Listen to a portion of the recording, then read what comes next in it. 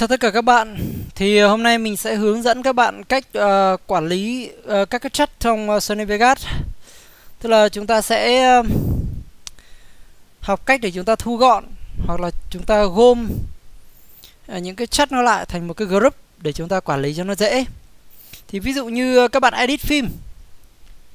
Ở đây các bạn nhìn thấy rằng là của mình tạo ra là có 6 cái chất. Có 6 cái chất tất cả. Đấy. Thậm chí là nhiều hơn có thể đến mấy chục cái chất cơ. Thế thì làm sao để chúng ta thu gọn nó lại để chúng ta dễ quản lý? Thì cách đầu tiên đơn giản nhất ấy, là chúng ta sẽ nhấp vào cái nút này. Đây. Ở đây thì nó có cái uh, nút đó là minimize track đấy. Nhấp vào đây thì nó sẽ nhỏ các chất này lại. Đó. Thì các bạn thấy rằng là những cái chất nào mà chúng ta sẽ không dùng đến nó nữa hoặc là chúng ta muốn thu gọn nó lại thì chúng ta nên gọn nó lại như thế này. Để chúng ta dễ quan sát. À, lấy cái uh, thứ nhất là dễ quan sát thứ hai là lấy thêm cái không gian để chúng ta đặt những cái chất mới. Đó ví dụ như vậy. Rồi thì uh, các bạn muốn mở nó to thì các bạn nhấp lại vào cái biểu tượng của nó. Nhấp lại vào cái biểu tượng này. Thì nó sẽ tự bung ra thôi. Rồi ví dụ như mà cái uh, chất số 3 này đi đây. Ở đây thì không cần thiết nó to như vậy. Các bạn muốn nó nhỏ lại một xíu chứ không phải là nhỏ tí như thế này. Đấy nhỏ như thế này lại không điều chỉnh được cái even pen và crop.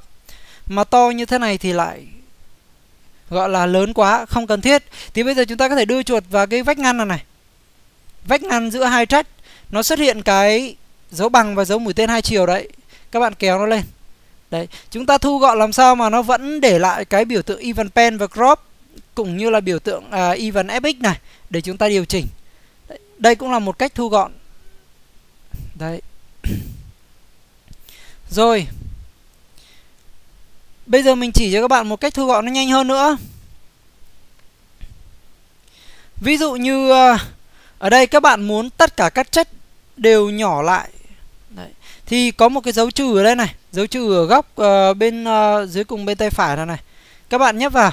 Đấy thì cái chất của chúng ta sẽ tự động nhỏ lại Nhỏ xíu này. Bấm vào dấu cộng thì nó sẽ to ra. Đấy. Rồi nếu mà bạn nào muốn các cái chất là Ví dụ như mà các cái chất từ số 1 đến uh, chất số 6 đây Là chúng ta không dùng nữa. Chúng ta muốn thu nó gọn lại hết cỡ luôn. Thì mình làm như sau. Các bạn giữ phím Control. Để mình bật cái bàn phím ảo lên cho các bạn xem nhé Các bạn giữ phím Control. Đây, giữ phím Control. Sau đó các bạn Nhấn Nhấn chuột trái vào từng cái chất một. Các bạn thấy rằng là mình đang bôi xanh những cái chất này này. Đó. Ok Sau đó các bạn nhấn chuột phải vào một cái chất bất kỳ.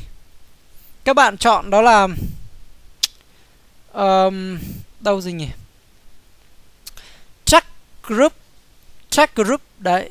Sau đó chọn cái group selected track thì lập tức nó sẽ gom các cái chat này lại thành một cái group. Đây chính là cái group này các bạn. Đây, cái group đây. Các bạn chỉ việc nhấn vào cái biểu tượng hình tam giác này thì lập tức nó sẽ thu gọn cả 6 cái chat đó vào một cái cục nhỏ như thế này. Bé xíu à. Đây thì khi mà các bạn muốn mở ra chỉnh sửa, Các bạn chỉ việc nhấp vào đây, Nó bung ra. Đấy, chúng ta tiến hành chỉnh sửa. Chỉnh sửa xong chúng ta group nó gọn lại. Đấy.